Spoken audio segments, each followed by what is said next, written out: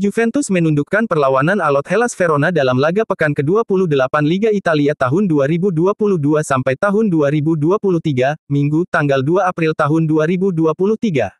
Skuad Massimiliano Allegri memetik kemenangan tipis 1-0. Bermain kandang di Allianz Stadium, Juve mencoba tampil dominan, tapi Verona datang dengan perlawanan tangguh. Pertandingan jelas tidak berjalan mudah bagi Juventus. Beruntung kali ini Juve terbantu dengan gol semata wayang Mois Kaan di babak kedua 55. Verona mendapatkan sejumlah peluang matang, tapi tidak bisa menjebol gawang tuan rumah. Kemenangan ini penting bagi Juve untuk terus memperbaiki posisi di klasemen sementara Serie A tahun 2022 sampai tahun 2023. Memasuki babak kedua, Juve langsung menerapkan permainan agresif.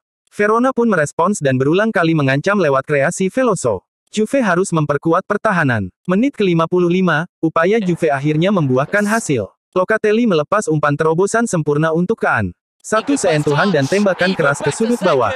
Gol. Juventus 1-0 Verona. Massimiliano Allegri membuat sejumlah pergantian pemain di pertengahan babak kedua. Vlahovic dan Di Maria masuk, lini serang Juve kembali dengan tenaga yang lebih segar.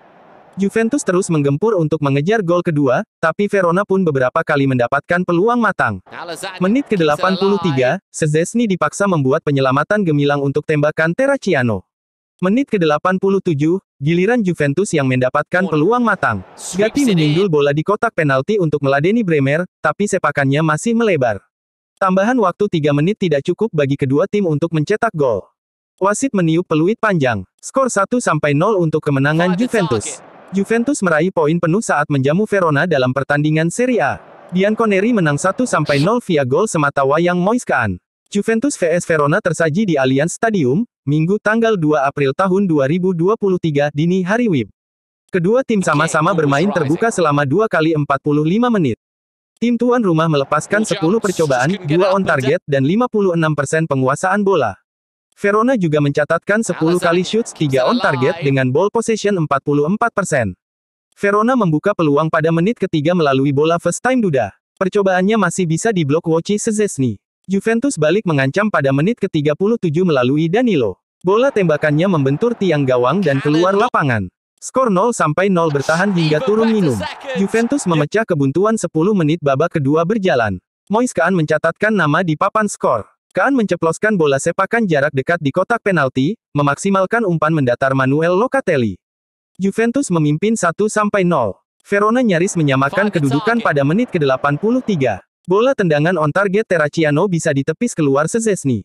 Tim tamu gagal mengejar ketertinggalan di sisa waktu yang ada. Duel tuntas untuk kemenangan Juventus 1-0. Tambahan tiga angka membuat Juventus kini mengoleksi 44 poin dan masih berada di urutan ke-7.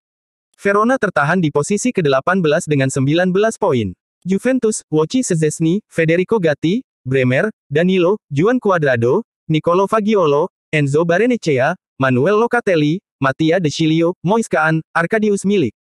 Verona, Lorenzo Montipo, Federico Cecerini, Giangiacomo Magnani, Pavel Dawidovic, Fabio De Paoli, Miguel Veloso, Adrien Tamaze, Davide Faraoni, Ondrej Duda, Adolfo Gaich, Kevin Lasakna.